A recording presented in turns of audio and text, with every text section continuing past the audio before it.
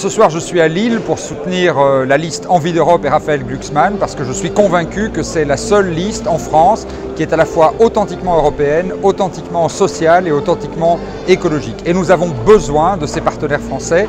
Nous avons besoin que la gauche soit le premier groupe au Parlement européen sous la prochaine législature. On a trop vu les dégâts causés par cette Europe libérale. On sait combien l'aspiration à une transition écologique qui soit socialement juste et forte et puissante. Et pour ça, ici, en France, il n'y a qu'une voie, c'est Envie d'Europe.